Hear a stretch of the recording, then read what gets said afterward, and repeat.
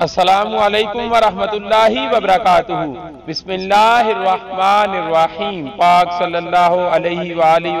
वबारिक दोस्तों, आपने अपनी लाइफ में बहुत सी बड़ी चोरियों के बारे में सुना होगा। नॉर्मली चोर कीमती और छोटी चीज़ें चोरी करते हैं, जैसे कि ज्वेलरी और पैसे वगैरह। लेकिन आज की इस वीडियो में मैं आपको दुनिया में आज तक चोरी होने वाली सबसे बड़ी चीज़ों के बारे में बताने जा रहा हूँ।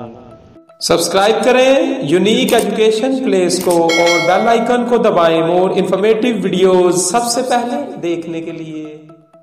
नंबर सेवन 1.3 टन बेल दोस्तों, आपने मंदिरों के बारे में तो सुना होगा। इनके अंदर बेल्स लगाई जाती हैं। वाशिंगटन अमेरिका में एक मंदिर है, जहाँ पर बहुत बड़ी घंटी लगी हुई थी। इस घंटी का वज़न 1360 किलोग्राम था। ये घंटी किसी ने रातों रात चोरी कर ली। पुलिस का कहना था कि कोई इतनी बड़ी घंटी भला कैसे चुरा सकता है और इसे उतारने और ट्रक पे लोड करते वक्त किसी ने नहीं देखा। इवन ये बैल है, इसकी आवाज़ भी किसी ने नहीं सुनी। ये बैल इतनी वैल्यूएबल थी कि इसकी प्राइस का अंदाज़ा भी नहीं लगाया जा सका। मंदिर के पादरियों का कहना था कि ये चोर इस बैल को स्क्रैप में बेच देंगे, क्योंकि इनको अंदाज़ा भी नहीं है कि ये कितनी कीमती है। लेकिन बहरहाल इसकी चोरी करने वालों का आज तक पता नहीं चल सका, और ना ही किसी को पता है कि इन्होंने इस बैल को चुराया कैसे?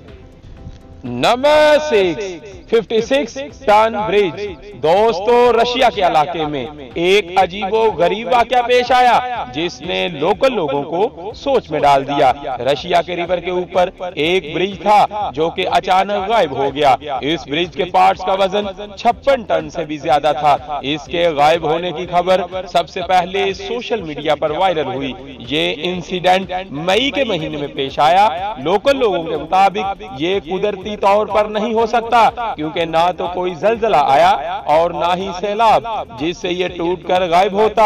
अथॉरिटीज के मुताबिक, इस ब्रिज को मेटल थीफ ने काटा और इसे चोरी करके ले गए। पुलिस ने इस चोरी की इन्वेस्टिगेशन शुरू कर दी। पुलिस का कहना था कि चोरों ने इसे इसलिए चोरी किया ताकि इनका मेटल स्क्रैप में बेच सके, लेकिन इतने बड़े ब्रिज को छोटे छोटे टुकड़ों में करना आसान काम नहीं है। और सबसे हैरानगी की बात यह है कि वो चोर आज तक नहीं पकड़े गए और ना ही पुलिस को ये पता है कि आखिर इन्होंने ये ब्रिज कैसे चोरी किया और कहाँ ले गए। नंबर फाइव बीच दोस्तों, आप सोच रहे होंगे कि बीच वाला कौन बेवकूफ़ चुराएगा। लेकिन जुलाई 2007 में दुनिया के इलाके में रहने वाले लोग जब सुबह बीच पर वॉक करने के लिए आए तो देखा कि आगे कोई बीच ही नहीं थी। लोकल रेजिडेंट्स ने पुलिस को इन्फॉर्म किया कि किसी ने पूरी की पूरी बीच ही चुरा ली है। बिलीव करना मुश्किल है, लेकिन आधा किलोमीटर लंबी बीच को किसी ने कैसे चुरा लिया? और वो सारी रेत कहाँ ले गए? ये किसी को भी पता नहीं चला। ये कोई कुदरती डिजास्टर नहीं था। लेकिन इन्वेस्टिगेशन से पता चला कि ये पूरी रेत 500 ट्रक्स पर लोड करके कहीं ले जाई गई। लेकिन आखिर 500 ट्रक्स पर रेत को भला कौन चोरी करेगा? इसका जवाब किसी के पास नहीं है। ये चोर आज तक नहीं पकड़े गए। और इनकी रेत चुराने का मकसद आज तक समझ नहीं आया। कि आखिर ये इतनी ज़्यादा रेत का क्या करेंगे?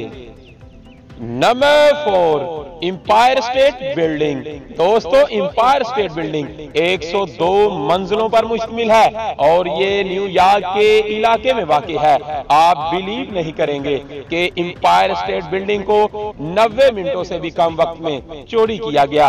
अमेरिका की हिस्ट्री की ये सबसे बड़ी चोरियों में से एक है। अगर आप सोच रहे हैं कि इस पूरी बिल्डिंग को कोई स्पेस शिप उठाकर ले गया तो आप गलत हैं असल में ये state building New York daily time news ने चुराई थी। इस न्यूज़ एजेंसी ने फेक डॉक्यूमेंट्स बनाए और स्टेट रजिस्ट्रार के सामने ये साबित कर दिया कि ये बिल्डिंग इनकी मलकियत है ये डॉक्यूमेंट्स पूरी तरह लीगल थे। असल में टाइम्स न्यूज़ सिर्फ़ हुकूमत की तवज्जो हासिल करना चाहती थी। इनका मकसद पैसा बनाना नहीं था। असल में रजिस्ट्रार और क्लर्क जगह की तफ्शीश नहीं करते थे और लैंड माफिया लोगों की प्रॉपर्टीज़ पर कब्जा कर लेते थे। इसीलिए इन्होंने फेक डॉक्यूमेंट्स बनाकर इस बात का प्रूफ गवर्नमेंट को दिया ताकि वो एक्शन ले। टाइम न्यूज़ ने बिल्डिंग ऑनरशिप गवर्नमेंट को वापस कर दी। अगर कोई रियल में इसे चोरी करता तो वो अरबों डॉलर्स का मालिक होता। Number three entire bridge missing दोस्तों, अब जिस चोरी के बारे में मैं आपको बताने जा रहा हूँ यह दुनिया की सबसे अजीबो गरीब चोरियों में से एक है। दो भाई जिन्होंने सितंबर 2011 में एक 50 फुट स्टील का ब्रिज चोरी कर लिया। ये ब्रिज ज़्यादा इस्तेमाल नहीं होता था, फिर भी इस पूरे ब्रिज को चोरी करना बहुत मुश्किल काम है। इन दोनों भाइयों का कहना था कि इन्होंने एक माह प्लानिंग की और फिर इस ब्रिज को चुरा लिया। इन्होंने इसे पीसेस में काटा और स्टील को स्क्रैप में बेचने के लिए इकट्ठा किया। सोचने की बात यह है कि इन्होंने इतनी बड़ी स्टील को ट्रांसफ़र कैसे किया होगा?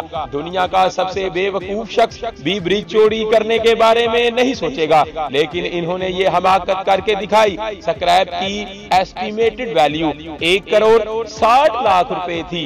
इन्वेस्टिगेशन के दौरान पुलिस को पता चला कि इन्होंने पंद्रह टन का ब्रिज सिर्फ़ आठ लाख रुपए में एक रिसाइकलिंग कंपनी को बेच दिया है। कंपनी वालों को शक हुआ और इन्होंने फ़ौरन पुलिस को इन्फॉर्म किया और ये दोनों भाई पकड़े गए। Number two church.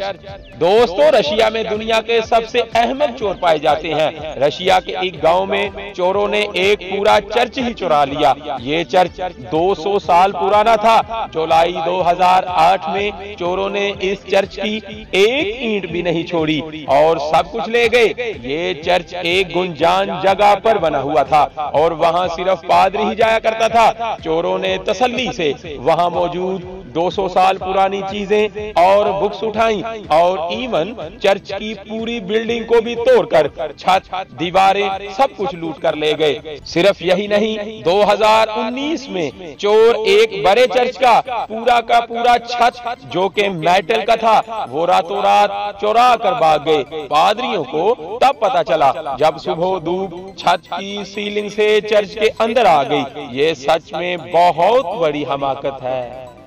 Number one. Bridge vanished दोस्तों, तुर्की के एक प्रोविंस में चोरों ने रातों रात एक 22 टन का पूरा ब्रिज चोरी कर लिया।